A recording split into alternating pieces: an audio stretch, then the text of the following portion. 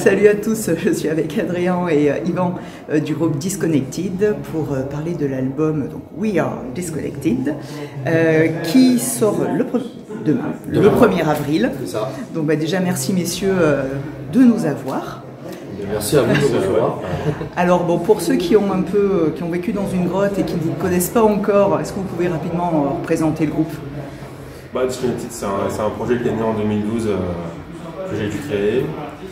Plus vraiment un projet au début, qui est devenu un groupe au fur et à mesure des années, au, fur et à mesure que j'ai trouvé les bonnes personnes pour, euh, pour mener à bien ce projet, ce groupe. Et du coup, voilà, on a, ça a mis un petit peu de temps de sortir le premier album, il est sorti qu'en 2018.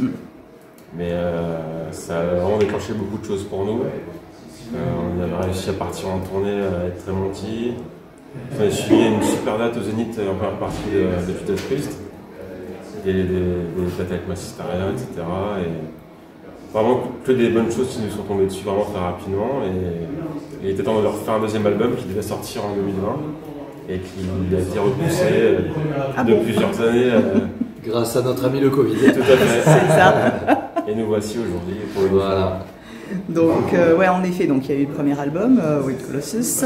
Il y a eu entre-temps un EP euh, avec, euh, enfin, Ouais. un mot, Il y a eu un, un single Voilà. Unstoppable Voilà. qu'on a sorti en, en avril 2020.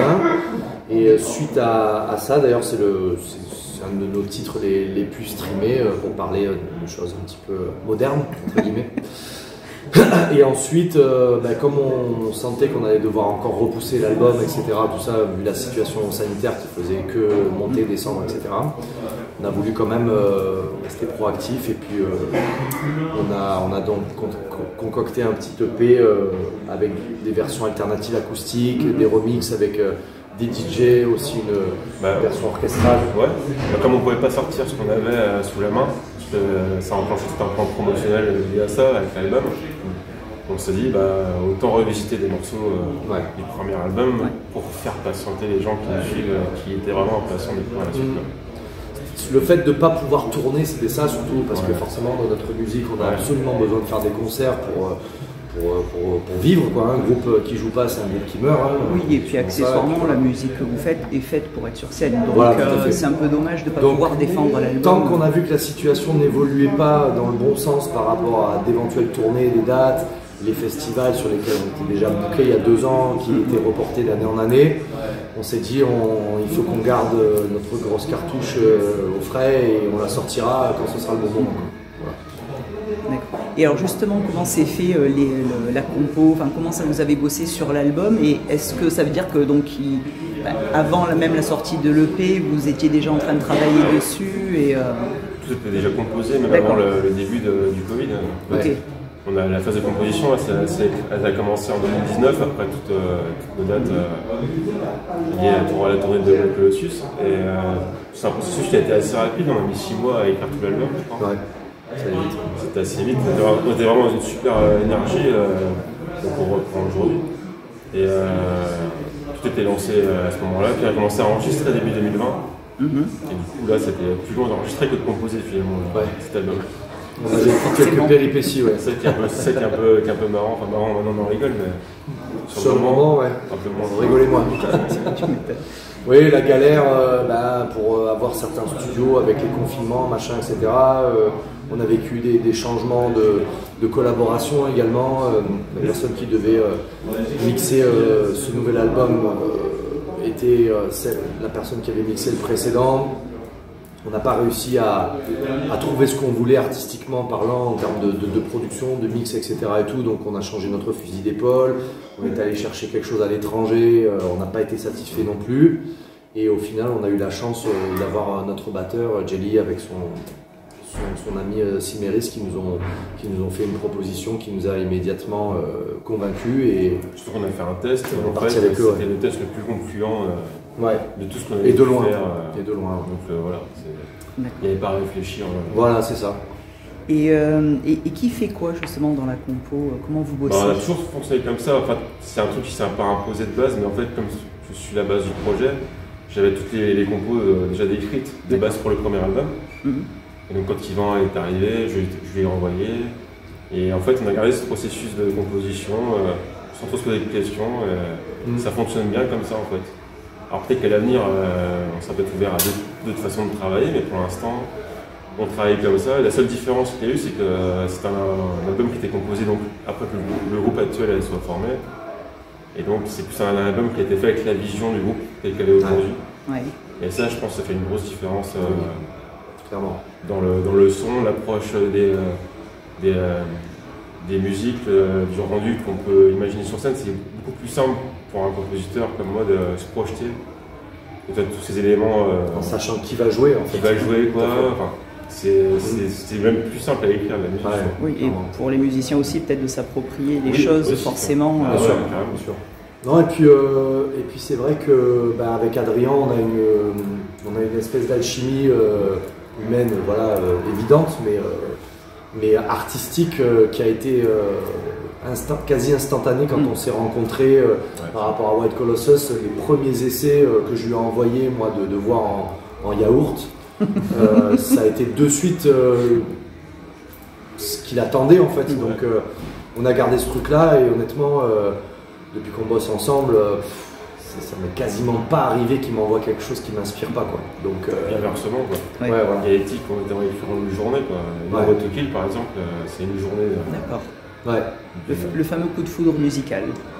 C'est ça, c'est ça. Alors qu'on bosse à distance. Ouais, ouais, voilà. Je pense que le, côté répétition en groupe, composition en groupe, tout ça et tout est un petit peu limité aussi chez nous par rapport à, à nos problématiques géographiques, puisqu'on est éclaté sur le territoire. Adrien, il est, euh, il est dans l'Aube.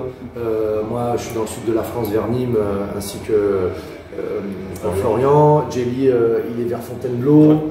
Romain, il est vers Lyon. Donc, on répète pas toutes les semaines. ah bon Et puis. Et puis Avec le TGV, c'est important. c'est un petit peu onéreux, par contre. Mais non, ça, fonctionne bien comme ça. Et puis, euh, on a la chance d'avoir un groupe euh, avec euh, des personnalités d'une volonté et d'une sans faille, en fait. Les, gars, ils, sont là pour la zik qu'on fait ensemble et tout. Il n'y a pas ce côté Ah, mais moi, j'aurais bien aimé faire ça, et puis moi, je voudrais faire ci, et moi, ceci, moi, cela. Tout est concentré sur le, collectif en fait.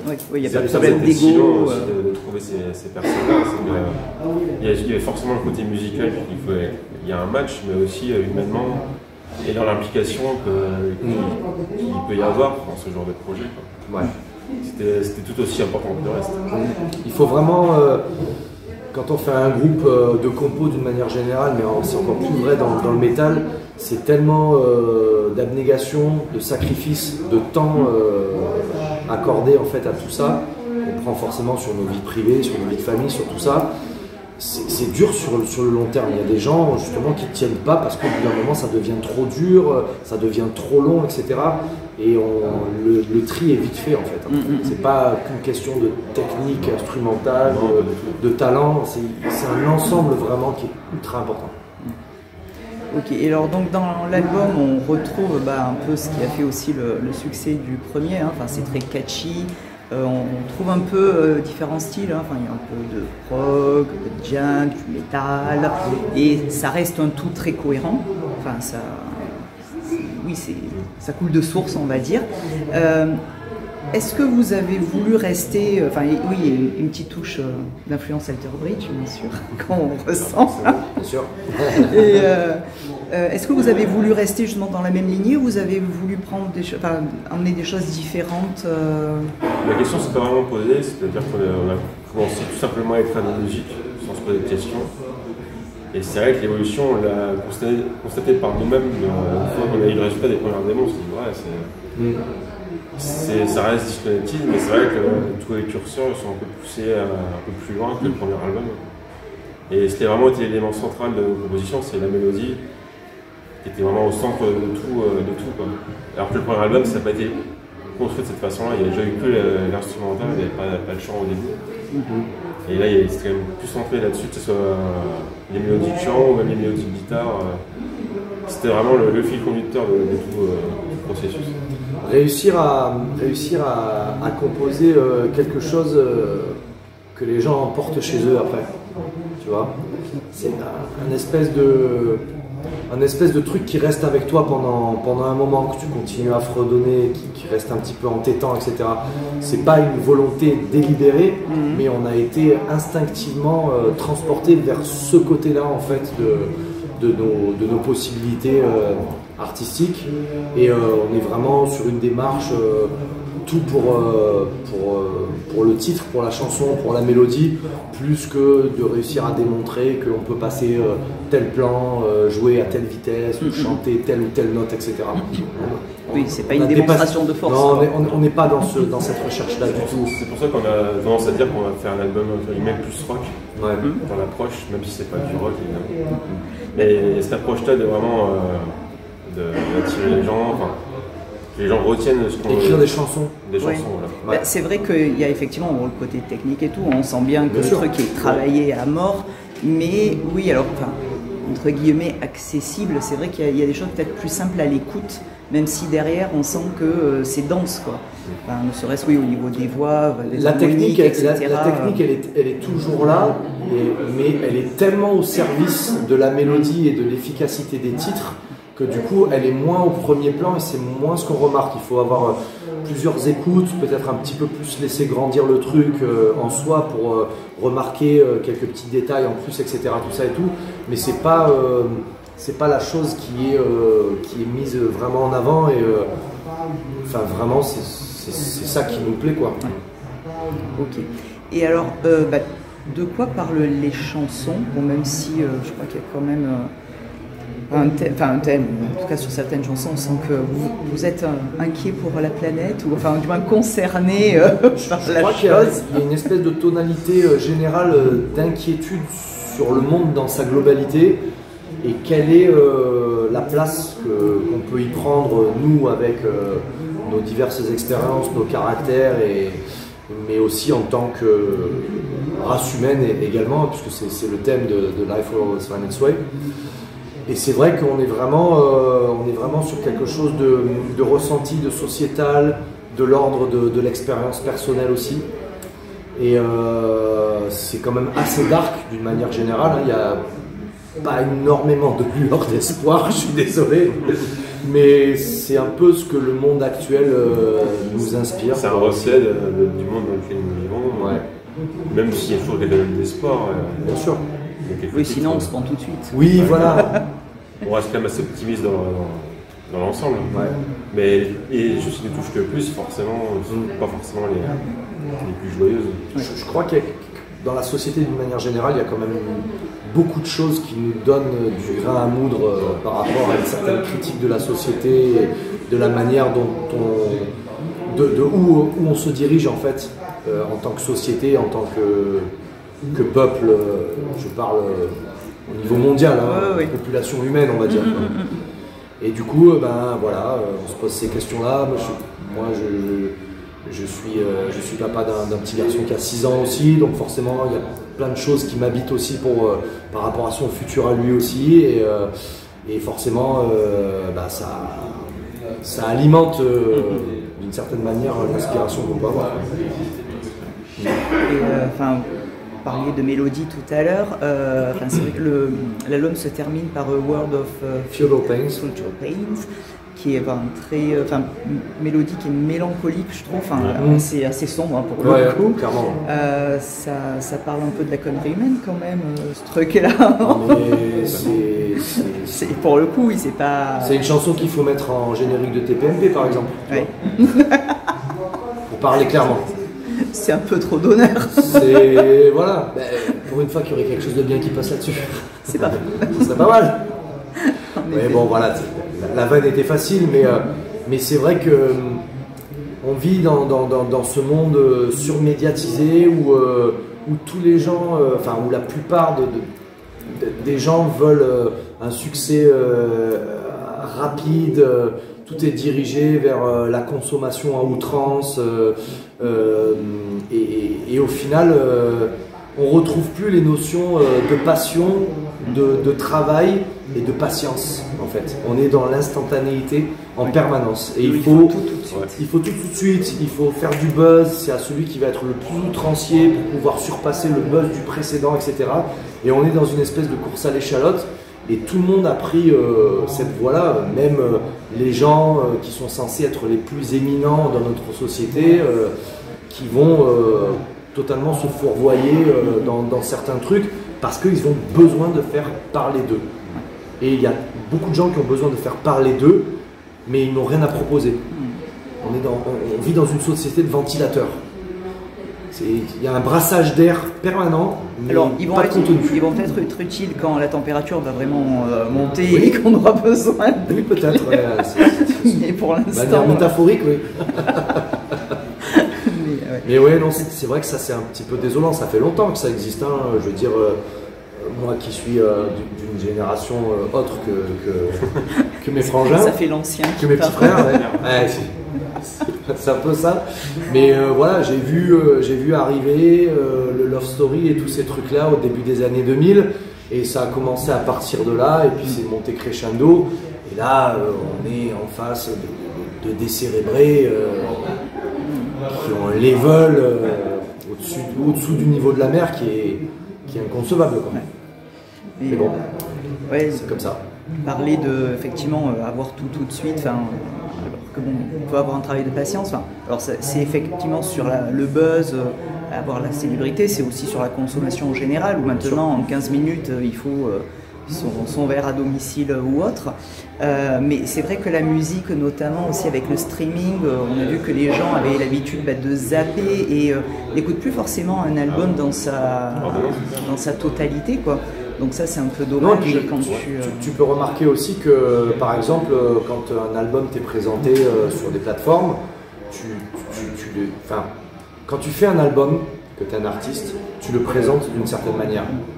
S'il y a un ordre, une tracklist. Euh, voilà, c'est pour une raison aussi. Mm, mm, mm. C'est que ça a été réfléchi et ressenti par les artistes. Ça. Si tu vois les petits aléatoires sur Spotify, bah ouais, oui, forcément. Sur autre euh, ce que tu veux. Mm, mm, mm. Après, c'est toujours un moyen d'éduquer du bon et du mauvais. C'est ça. Ça reste un moyen quand même euh, de se faire reconnaître, euh, d'avoir une exposition quand même importante qu'il n'y avait pas avant. Après, il y a du bon et du mauvais, c'est vrai que. Il y a cette, cette accessibilité-là, mais une fois de plus, et je vais encore faire le vieux con, je suis désolé. mais, mais je me rappelle, je me rappelle de mes 14-15 ans, au début des années 90. où euh, jeune dracénois, euh, il n'y avait pas, il avait pas de magasin où on vendait euh, des, des, des, albums de métal. Il fallait aller à Nice, donc il fallait euh, trouver un moyen d'aller dans une grande ville pour aller dans le magasin spécialisé, aller s'acheter le, le, dernier, le dernier album de Sepultura, le dernier Metallica, le dernier Forbidden, le dernier machin, tout ça. Et cette attente-là, tout ce truc-là, ça crée un espèce de truc euh, en, nous qui, qui, qui, a un petit peu disparu. Les gens sont toujours en attente de découvrir le dernier Alto Bridge, le dernier euh, ceci, cela. Mais euh, il y a une accessibilité qui est telle, qui est tellement instantanée et, et, surtout qui est écoutée sur des supports qui, en termes de qualité d'écoute, chose à voir avec. c'est sûr, il y a quand même beaucoup de gens qui avaient le vinyle aussi, donc à contrario de tout ce mouvement-là, il y a quand même un, autre mouvance qui tend vers justement un retour euh, aux choses quand même qui ont fait. Euh, oui, notamment le vinyle, où là, de toute manière, tu es obligé de prendre le temps, tu dois retourner ton disque. Quand tu vas, quand tu vas trop loin, quand tu vas trop loin dans, dans, dans, une certaine baisse de la qualité, à un moment donné, forcément, il y aura un retour de la médaille avec un mouvement inverse qui dira non, on veut revenir à quelque chose de bon, à quelque chose de vrai, entre guillemets. Donc euh, voilà, mais euh, c'est vrai que voilà, le streaming maintenant, de toute façon, c'est un état de fait. Hein. il faut travailler avec. Il faut, hein. on n'a pas d'autre choix aujourd'hui. Euh, un artiste. Les labels, ils regardent ça. monde regarde ça. Tous les, les festivals, les tournées, ils regardent ces chiffres-là. Hein beaucoup euh, d'opportunités, c'est le choix de ne pas, y aller. Alors c'est vrai que oui, ça peut être un, bon moyen de se faire découvrir. Après, il faut juste que les gens passent ce truc-là pour après aller vers euh, ah le physique et une bah, écoute autre. Euh. Les gens qui t'aiment vraiment, qui sont vraiment passionnés par ta musique, ils vont aller écouter le truc dans sa totalité. Il n'y a, pas de souci là-dessus. Mais c'est plus dans la découverte en fait que les gens s'arrêtent très très vite sur quelques dizaines de secondes sur des titres ou quoi et, et au final malheureusement, enfin nous c'est pas notre cas euh, heureusement, mais euh, je pense qu'il y a aussi des gens qui écrivent des choses en fonction euh, totalement de ces données-là et euh, qui savent que euh, à tel moment il faut qu'il y ait tel truc qui arrive parce sinon, que ça euh, décroche. parce que sinon bah, les gens vont partir quoi. Donc euh, Notre optique, c'est de vraiment accrocher les gens sur scène, enfin sur album évidemment, mais de pouvoir retrouver ce qu'il y a sur l'album sur scène. Et c'est dans cette direction-là que l'album a été mixé. Donc, euh, c'est vrai que c'est ce qu'on veut empiriser plutôt que de, de faire un truc qui marchera peut-être sur du streaming ou quoi. Nous, ce qui- importe, c'est le live et c'est tous les artistes. euh, c'est là où tu es vraiment jugé, je pense, euh, sur la- ton concert. Sur, sur un album, c'est tellement facile de, de pouvoir. Je ne vais pas tricher, mais. euh, Aujourd'hui, avec les moyens actuels, De faire ce que tu veux. euh, tu fais chanter juste n'importe qui, tu fais jouer en place n'importe quel batteur, euh, tu peux avoir Voilà, le son si tu as les bons plugs et compagnie et que tu as quelqu'un de compétent pour, pour, pour te, pour faire le son et pour ceci, cela. Après, euh, sur scène, euh, à part jouer en playback, euh, Oui, ça, ça trompe pas. euh, si c'est pas dedans, c'est pas dedans. Quoi. C'est clair. Vraiment, euh. Euh, et alors, euh, donc il y a, sur l'album, euh, il y a un titre, enfin, un des deux titres que vous avez sortis en clip, euh, Life Will Always Find Its Way. Alors, le, le titre justement est assez positif quelque part. Enfin, il y a une connotation. Alors, par contre, quand on écoute et qu'on regarde le clip, pas du Pas tout. du tout. Ça, ça dépend de quel côté on voit la, la vie, enfin dans le sujet Ouais. de la phrase. Quoi. Parce que si c'est la vie en tant que nous humains, euh, ouais, ça peut être positif, mais si c'est. euh, moi je le vois plutôt comme euh, le, le sens, je le vois plutôt comme. euh, si demain euh, les humains disparaissent, la, la- la Terre continuera quand même de tourner. Elle continuera sans nous, elle s'en Et elle portera portera mieux d'ailleurs. C'est vrai que ce titre-là, il m'est venu, euh, il m'est venu aussi de la. C'est c'est quasiment la même phrase dans, justement dans Jurassic Park. Mm. Dans le premier Jurassic Park, euh, Life always finds a way. Mm, Euh, justement, c'est Jeff, Goldblum euh, qui, qui dit ça. Pour dire, euh, voilà, les dinosaures, euh, vous les faites revenir euh, alors que c'est c'est plus leur moment, mais euh, puisque vous les avez ressuscités, ils vont réussir de toute façon à, à- à trouver un moyen de, de se développer.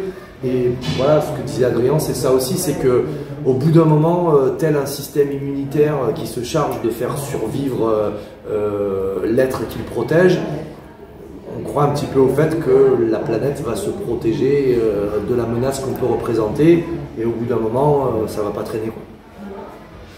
C'est clair. malheureusement. On sera peut-être plus là pour le voir. On, est- on espère qu'on aura eu le temps de faire le Hellfest. On va tous y croire. Laissez-nous jusqu'au 24 juin, s'il vous plaît. C'est ça. Euh, et alors, euh, concernant l'artwork, alors euh, White Colossus c'était noir et blanc, là c'est coloré. Ouais, Euh, donc vous avez travaillé avec Chromatorium. ouais euh, toujours le même. Ouais, c'est ah, le, c'était le premier aussi. Ouais. C'est vrai quand j'ai vu la pochette, euh, il n'y a pas si longtemps que ça, il y a 633 qui a sorti une pochette et qui est aussi dans les mêmes tons. Mm. Et on reconnaît tout de suite le.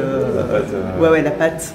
Ouais, ouais. Et, Il euh, avait fait notre EP aussi de Downtime, Ouais, avec ouais, il euh, fait la pyramide euh, du lourd et début, la nature qui reprenait le- ses droits aussi. Ouais. Il fait nous a fait des, de, euh, des t-shirts. Des t-shirts aussi, vraiment tout. ouais. Et ouais, on a, on a rebossé avec lui. On a, comme on, on a quelque chose de vraiment. On trouvait quelque chose de vraiment différent par rapport au premier, enfin une évolution. On voulait aussi quelque chose qui casse avec le premier album. Donc le fait d'avoir des, quand même des titres qui, sont, qui restent sombres dans les paroles, mais c'est quand même assez plus, c'est plus ouvert. mm. D'avoir de faire un contraste hyper coloré. euh, ça va vraiment une rupture aussi avec euh, ce premier album. quoi.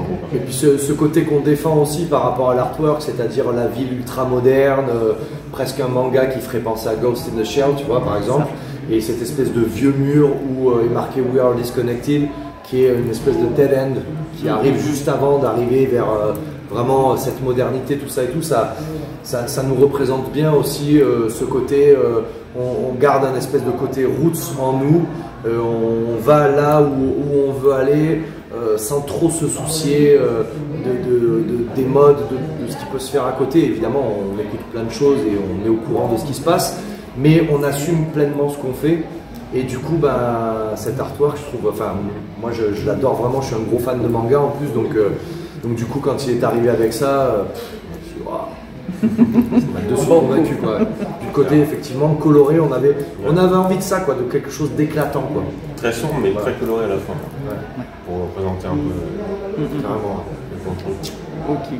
Donc bon, tu parlais du Hellfest tout à l'heure. Donc vous avez annoncé euh, quelques dates, donc dates en France, euh, des, euh, des festivals aussi en Europe.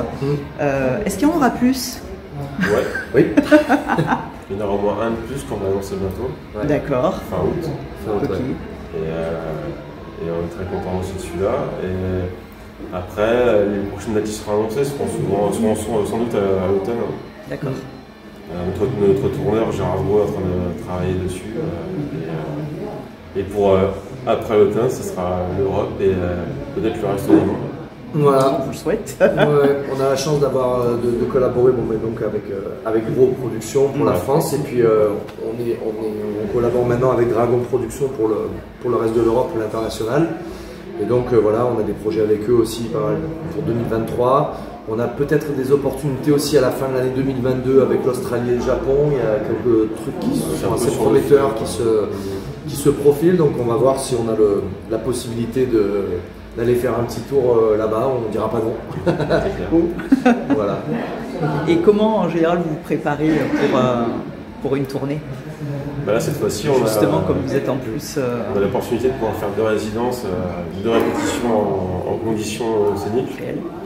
Pour pouvoir travailler avec nos ingénieurs euh, son et lumière aussi, et préparer le, le show de, de ce- de ce- de cette nouvelle tournée. Mhm.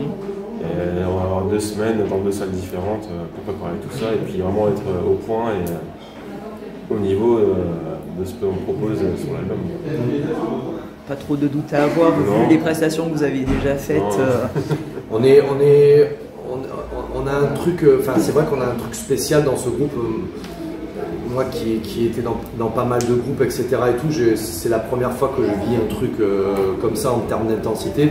C'est-à-dire que à chaque fois qu'on se retrouve, et on se retrouve pas ultra souvent, bon, il y a un truc qui se passe entre nous euh, sur scène et dans, dans le fait de jouer ensemble qui à chaque fois euh, est vraiment de l'ordre de, de- un peu de, espèce de truc un peu magique où tout- tout se déroule de manière euh, ultra naturelle, Ouais, ouais. ultra fluide.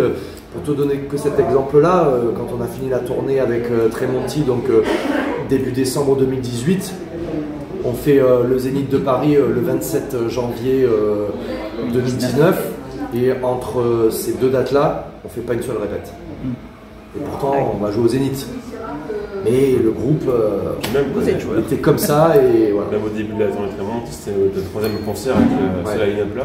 Et euh, à la fin du concert à Lisbonne, euh, ils sont venus nous voir les mecs. J'y demandé, croyais pas. ouais. Ça fait combien de temps que vous tournez? C'est- Ils se renseignaient un peu. Bah, c'est notre troisième concert là, ce soir et tout. et les mecs ils ont halluciné. C'est vrai qu'il y, a une- il y a une synergie entre nous qui se crée. Euh, On sent qu'on est soudés. Quoi. Enfin, C'est un peu comme les vraies histoires d'amitié où des fois on peut voir Ouais. ses vrais amis, ne ne pas Ouais. les voir pendant longtemps truc et se et retrouver, humain à- à- se retrouver comme temps, si c'était hier. Ça fait, se Donc, explique pas trop en fait, mais ça, se sent. Ouais, se c'est du ressenti, clairement. Et en tout cas, effectivement, ça se sent. Enfin, en tout cas, l'énergie euh, se sent bien sur scène. Donc, euh, vivement que l'on vous revoit. Et puis, vivement le Hellfest parce qu'on l'attend tous. Ah oui, tu m'étonnes. Et là, il faut que rien nous y empêche. Non, c'est clair. Et puis, donc, ben, rendez-vous demain pour l'album. Ouais. Yes. Et merci beaucoup. Eh ben, merci à toi. Yes.